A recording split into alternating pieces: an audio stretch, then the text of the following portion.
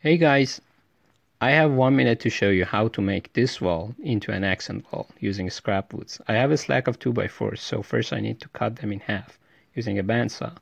Then I pass them through the planer. You can also sand them, which is very time consuming.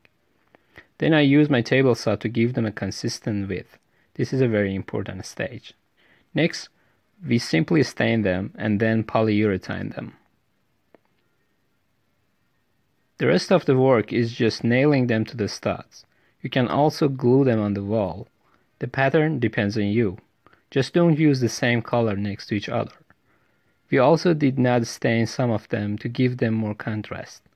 I will put a more detailed video soon, so please don't forget to subscribe to our channel. We really need your support for making these videos. Okay, that's my one minute. Thanks for watching.